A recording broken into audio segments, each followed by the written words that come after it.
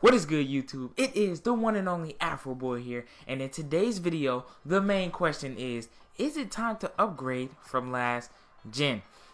Now, before we get into this video, this informational video, be sure to realize that this is some of its opinion and some of it is facts, as I will explain to you in the video. And be sure to hit the like and subscribe button. Don't hit the dislike button. Just hear me out, and I promise you, you won't be sorry for hearing me out. And I'm pretty sure that some of you would agree. All right, all right. So let's get into it. All right. So this is sad news for last gen, and yes, it is time for you to upgrade from last gen if you have last gen. The upgrade from um, next gen, which would be the PS4 and Xbox One. So from the Xbox 360 to the Xbox One, or PS3 to the PS4, or Xbox 360 to the PS4, or PS3 to the Xbox One. Don't do that one. Do the other one. All right. So yeah. So yeah, it's time to upgrade now. First thing I'm gonna tell you is a fact. All right.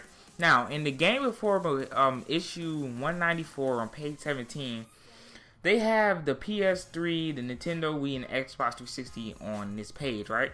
And on this page, they have the year it came out, well, the the data it was released.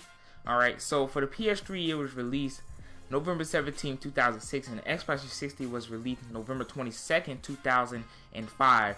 We're not going to talk about the Wii. We're just going to leave it at that. All right, we're not going to talk about it, okay?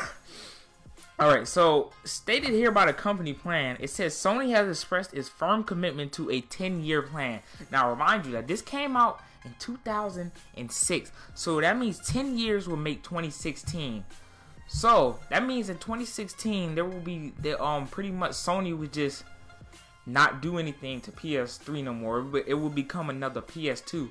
Now, Xbox One or Microsoft now they did say that they um that 2016 would be the last year that they would um you know stop messing with um patching, well not stop messing with it, but you know stop doing the updates and everything, and pretty much stop making you know games released for next gen. So 2016 is the expiration date for the PS3 and Xbox 360. Now, now this is not for some of you not to get mad. You know, don't get mad and be like, oh, well, they don't care about this. You know, they just forgot all about the 360. Blah blah blah. This and that. No, you no. Just think about this, man. Everything has an expiration date. All right. The PS2 had its expiration date. The Xbox had its expiration date. The PS, the PlayStation, the number one, PS1, had its expiration date. And if you don't even see that as um um an example, how about this? The iPhone, the first one, had its expiration date.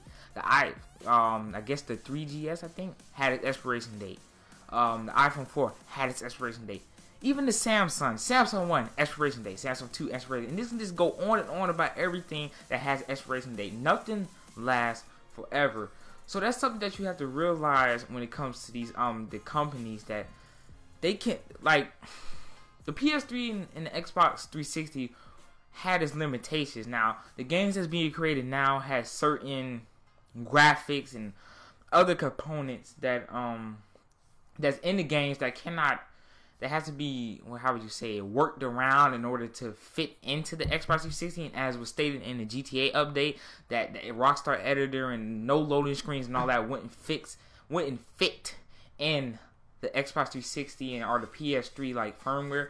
So you know these things are just made with um they have limitations, all right. So that's why new things are created so that these limitations would never be reached, all right. And that's the same thing goes for a PC. If you buy a graphics card, right, you have a graphics card for over two years, and then a program comes out and that graphics card is no longer compatible with that program, so you have to go and buy another graphics card. You know, there's many things that you can um that you can say about this, many things that you can come up with, you know, about examples for why it is time to upgrade from last gen.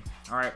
Just like I said, this is not for something for you to get mad at. Don't get mad at the companies. Don't get mad at that. There's nothing to get mad about. You know, you should be happy that there are new things being created um, for us so that way we can experience more things like more HD. You know, games are starting to look real and realer every single day. All right. So you this is something you have to realize and yes it is time to upgrade from last gen. Like I was saying, don't get mad. You know, I don't want to say this because I know some people might get mad, but it's just it's just something that we have to face. You know, we just have to face the fact that last gen their time is up. Expiration date is coming. 2016 is the expiration date for last gen, and some games already started um, proposing and stopping, you know, certain things from last gen. Now you're st- you're still getting games. You obviously can tell that you're still getting games. Black Ops 3, you still have the multiplayer. You just won't have the story mode.